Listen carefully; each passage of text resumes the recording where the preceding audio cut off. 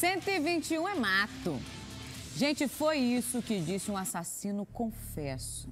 Preso ontem na rodoviária do Plano Piloto, 20 dias depois de matar a facadas um inimigo no areal. O homicida confesso, confessou, inclusive, essa morte aos policiais militares com a maior naturalidade do mundo. E ainda fez piada com o nosso presidente na delegacia. Vamos agora juntos conferir. Coloca na tela. É conferir o quê? Vamos agora juntos. Pra pagar os 30 anos, não, por quê? Vou pagar os 30 anos, Bolsonaro tá na pista, né? Tem que puxar a cadeia embora. 30 anos, ele botou 30, tem que puxar os 30, né? Pros É. vagabundos tudo da cidade. É, agora, agora o bicho pegou, moleque. Não pegou nada, a cadeia é pra todos, né, senhor? Não é para sempre, né? Puxar embora. De boa. Pagou, fez, tem que pagar, né não? Fez, tem que pagar, né? Botou pra acabar com a raça dos bandidos, que, que tem? O que, que rapaziada? tu tem?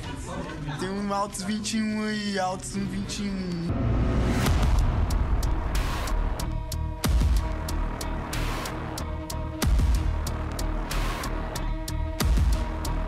Esse homicídio foi por volta das 3 horas da tarde aqui na QS 6. A vítima, que tem entre 30 e 35 anos, estava passando aqui por este local, que é conhecido aqui na região como Vila dos Carroceiros, quando foi surpreendido aí pelo atirador. Um, dois, um é mar, tá E, e esse, e esse procurado o quê? Um é homicídio, uma homicídio, tentativa de homicídio?